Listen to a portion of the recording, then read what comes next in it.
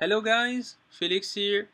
Uh, as you can see, I'm back at doing some uh, redstone.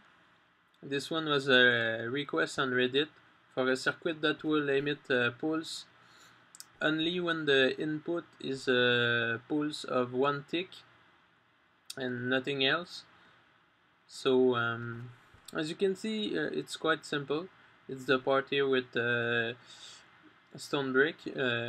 Here these are just for the, the demonstration purpose. So and this is my uh, pulse generator. So uh, the circuit one the principle that uh, uh one pulse tick uh, one tick pulse is uh, too short to trigger a torch. So if this is not triggered this torch stay on. And when the pulse activate the activate the the piston. Uh, the the output will uh, will pulse with a one one tick pulse.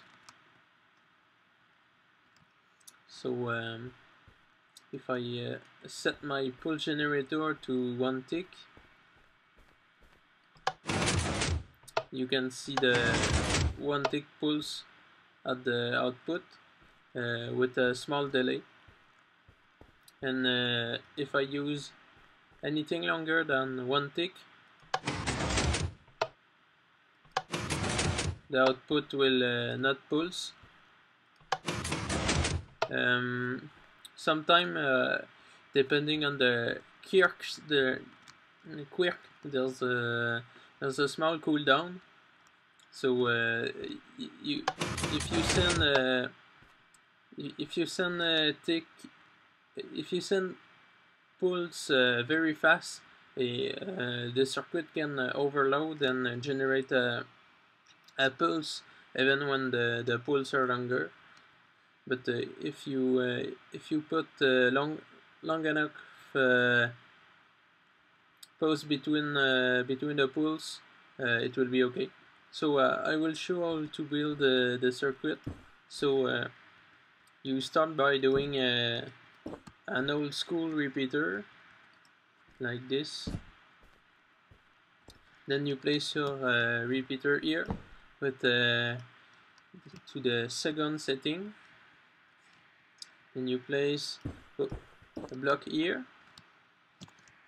Sticky piston here. Uh, block here.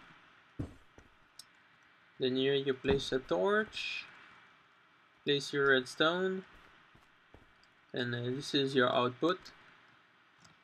And uh, this is your input. So uh, that's the circuit. Uh, and uh, thank you. Like uh, like my video my video if you like this. And I hope I hope this circuit can be useful useful to you